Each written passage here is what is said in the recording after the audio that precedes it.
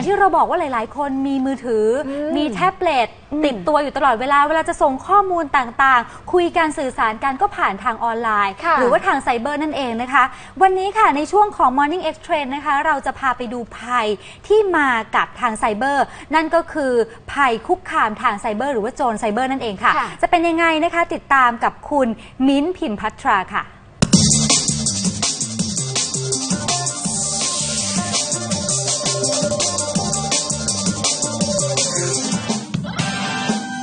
คุณผู้ชมตอนนี้อยู่กับมิ้นท์พิมประธานในช่วง Morning X 10ค่ะ คุณผู้ชมคะเคยสังเกตไหมคะว่า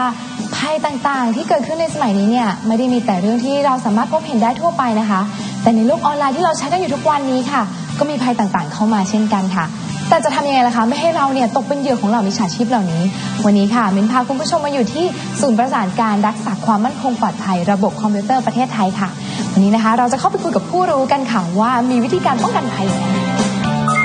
แล้วตอนนี้นะคะ เราก็มาอยู่กับท่านรองผู้อำนวยการของสพธอแล้วค่ะ สวัสดีค่ะ สวัสดีครับ ก่อนอื่นเลยค่ะ ต้องถามก่อนเลยว่า ThaiCERT ที่เป็นหน่วยงานย่อยของสพธอเนี่ยค่ะ มีหน้าที่ทำงานอะไรบ้างคะครับ ThaiCERT เราก็มีหน้าที่รับมือภัยคุกคามครับ หมายความว่าถ้าเกิดว่าประชาชนคนใดมีปัญหาที่เกี่ยวกับเรื่องของ Security ไม่ว่าจะเป็นบนโทรศัพท์มือถือบนเครื่องคอมพิวเตอร์บนเซิร์ฟเวอร์เนี่ยครับถ้ามีปัญหาก็ แจ้งเข้ามาที่ ThaiCERT ได้เลย แล้วก็มีจะมีทีมงานที่คอยดูแลให้ครับ ประชาชนส่วนใหญ่ที่ตกเป็นเหยื่อค่ะ ส่วนมากแล้วเขาจะมีลักษณะยังไงคะที่แบบจะมีโอกาสโดนหลอกได้ง่ายอย่างเงี้ยค่ะครับปัจจุบันเคสที่เราเจอเยอะนะครับ ก็จะเป็นเคสที่เอ่อเกิดบนโทรศัพท์มือถือนะครับ ก็อาจจะเอาใช้มือถือเนี่ยเอ่อเข้าถึงเอ่อสื่อบนอินเทอร์เน็ต แล้วก็ไม่มีความระมัดระวังนะครับเลยทำให้ติดเอ่อเรียกว่าเป็นมา l แวร์นะครับ ตัวมา l แวร์ก็เป็นโปรแกรมคอมพิวเตอร์ที่ติดโดยที่เราไม่รู้ตัวเนี่ยติดไปอยู่บนโทรศัพท์นะครับ แล้วก็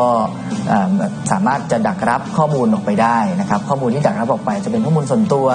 ข้อมูลที่เกี่ยวกับการใช้ internet banking นะครับ แล้วก็มิจฉาชีพก็เอาข้อมูลนี้ไปทำความเสียหายครับแล้วเอ่ออย่างภัยที่เข้ามาเนี่ยค่ะมีรูปแบบไหนบ้างแบบไม่ว่าจะเป็นโทรศัพท์เป็นเบอร์ call center ที่ปลอมขึ้นมาหรือว่าส่งเมสเซจ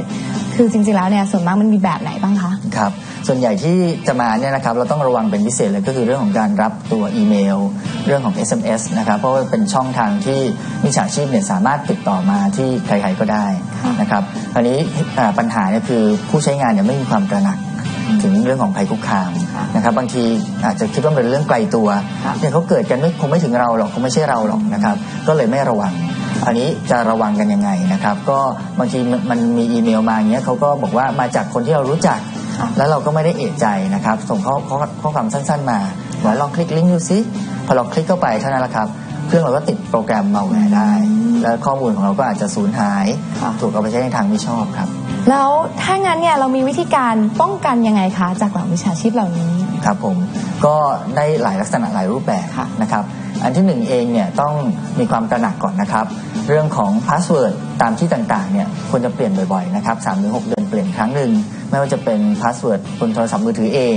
ปัจจุบันจะเข้าโทรศัพท์มือถือ สามารถใส่ password ได้แล้ว อยากให้ใส่กันเยอะๆนะครับเปลี่ยนบ่อยๆนะครับอ่าในระดับแอปพลิเคชัน ถ้ามันเป็น internet banking หรือบนแอปพลิเคชัน ก็เช่นกันเปลี่ยน password บ่อยๆนะครับแล้วก็คอยติดตามข่าวสารข้อมูลจากทางธนาคาร จากไทยเซิร์ตจากสื่ออาสังคมออนไลน์ต่างๆ แต่พวกนี้ก็ต้องมีความตระหนักว่าอ่า ข้อความที่มาเนี่ยจะเป็นข้อความที่ไม่ถูกต้องไม่ครบถ้วนไม่สมบูรณ์หรือว่าเป็นข้อความหลอกลวง ดังนั้นเนี่ยควรจะเช็คจากหลาย ๆ แหล่งก็คือวิธีการป้องกันภัยง่าย ๆ ก็แค่เปลี่ยน password บ่อย ๆ แล้วก็เช็ค recheck อีกทีหนึ่งว่าข้อความที่ส่งมานั้นถูกต้องหรือไม่ใช่ไหมคะ แล้วถ้าเกิดเอ่อหากคุณผู้ชมทางบ้านนะคะไม่มั่นใจว่าตัวเองอาจจะตกเป็นเหยื่อแล้วหรือเปล่าอย่างเงี้ยค่ะ คือจะมีสามารถเช็คยังไงครับก็เอ่อ ดูจากข้อมูลการใช้บริการของเรานะครับ ตัวอย่างเช่น Internet Banking นะครับเข้าไปเช็คดูบ่อยๆ ว่าเอ่อเงินมันมีการไหลเวียนผิดปกติไหมนะครับ หรือว่าบัญชีอีเมล เราสามารถตรวจสอบได้ว่าการ login เข้าไปใช้บัญชีเนี่ยล่าสุดมีใครเข้าไปใช้ยังไงได้บ้าง คือถ้าเราใช้คนเดียวเนี่ยเราก็ไปดูว่ามันใช่ที่เราใช้ไปไหมที่มันมีบันทึกไว้ ถ้าไม่ใช่ก็ต้องรีบแจ้งรีบเปลี่ยนรีบเปิดบัญชีใหม่ปิดบัญชีเดิมนะครับ หรือว่าเรื่องของออีเมลที่เข้ามานะครับ ก็ต้องไม่ไม่ไม่คลิกทันทีต้องดูก่อนว่าอีเมลนั้นน่ะน่าเชื่อถือหรือเปล่านะครับมี attachment ส่งมามีไฟล์ส่งมาเนี่ยครับ อย่าไปคลิกทันทีต้องดูก่อนว่ามันเป็นไฟล์ที่ไม่มีปัญหานะครับถึงจะคลิกเปิดดูได้ครับในส่วนของแอปพลิเคชันที่เราใช้กันอยู่นะครับก็ต้องดูดีๆนะครับไม่ใช่ว่ามีเพื่อนส่งลิงก์มาแล้วก็ไปดาวน์โหลดมาใช้นะครับแอปพลิเคชันบนโทรศัพท์มือถือโดยเฉพาะเนี่ยถ้าเป็น iOS จะค่อนข้างปลอดภัย เพราะว่าทีมงานของ iOS ก็มีการตรวจสอบให้ แต่ว่าถ้าเป็น Android เนี่ยครับต้องดูดีๆนะครับก็ใช้ของที่เป็น Official ของ Google Play นะครับ อันนั้นก็จะมีการอ่าช่วยกันตรวจสอบในระดับหนึ่งนะครับ แต่จะยังไม่เท่ากับของ iOS นะครับอ่าถ้าเกิดว่ามีการส่งมาส่งแอปมา มีคนแนะนำมาเนี่ยอย่าเพิ่งไปเชื่อค่ะนะครับ แล้วก็สมมติว่าเราอยากจะดาวน์โหลดมาใช้เนี่ยแอปเนี้ยพออ่านคำอธิบายแล้วมันได้เป็นประโยชน์ค่ะดูอีกสักนิดนึงว่าจำนวนผู้ใช้เยอะไหมนะครับจำนวนผู้ดาวน์โหลดไปจะคอมเมนต์เป็นอย่างไร นะครับถ้าเราเสียเวลาอีกนิดนึงไปอ่านคอมเมนต์นะครับรีวิวอาจจะมีคนรีวิวว่าอย่าดาวน์โหลดนะครับเนื่องจากมันเป็นแอปที่ไม่มีประโยชน์เลยจะเป็นของปลอม พวกเนี้ยก็ไม่ควรทำไม่ควรดาวน์โหลดมาใช้ เราควรจะดาวน์โหลดแอปที่คนใช้เยอะนะครับแล้วมีคอมเมนต์ดีนะครับเราก็จะมั่นใจได้มากขึ้นว่าแอปนั้นจะไม่มีปัญหาครับค่ะหากคุณผู้ชมทางบ้านรู้สึกว่าตัวเองเนี่ยตกเป็นเหยื่อแล้ว เราจะสามารถดำเนินคดีหรือว่าแจ้งความได้ไหมคะครับ อันนี้ก็สามารถแจ้งแจ้งแจ้งไปที่ทางตำรวจได้เลยนะครับ ทางตำรวจเนี่ยจะมี 2 ส่วนด้วยกัน ถ้าเกิดว่าเราไม่คุ้นเคย เราก็จะไปที่สถานีตำรวจในท้องที่นะครับ ซึ่งสถานีตำรวจในท้องที่เองเนี่ยก็แล้วแต่ทางเจ้าหน้าที่ทางเจ้าหน้าที่อาจจะมีความคุ้นเคย บางท่านอาจจะไม่คุ้นเคย ก็จะแนะนำให้ให้ไปพบกับตำรวจที่มีความเชี่ยวชาญทางด้านไอทีโดยเฉพาะนะครับ ซึ่งเป็นหน่วยงานที่ดูแลเรื่องอคดีทางด้านไอที นะครับทางทางนั้นเนี่ยจะสามารถตามตัวผู้กระทำความผิดมาให้ได้ แต่ถ้าสงสัยเบื้องต้นค่ะติดต่อเข้ามาที่ไทยเซิร์ชได้เลยอืมนะครับก็อ่าส่งเข้ามาเป็นอีเมลนะครับที่ report at thaisearch.or.th นะครับ report at thaisearch.or.th ครับ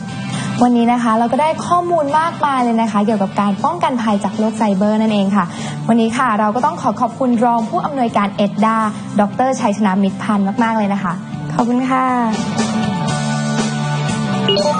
วิธีรับมือกับภัยต่างๆนะคะ สามารถเริ่มต้นได้ง่าย ๆ ค่ะ เพียงแค่เรามีสติและไต่ตองให้ดีเสียก่อน เราจะได้ไม่ตกเป็นเหยื่อของเราวิชาชีพได้ยังไงนะคะ และนี่ก็เป็นเรื่องราวดีๆ ที่มินนำมาฝากคุณผู้ชมในวันนี้นะคะ ในสัปดาห์หน้าถ้ามินมีข้อมูลอะไรที่เป็นประโยชน์ต่อคุณผู้ชมแบบนี้อีกแล้วก็ มินจะนำมาฝากคุณผู้ชมก่อนใครในรายการ Good Morning Thailand กับช่วง Morning Extend ค่ะ วันนี้สวัสดีค่ะ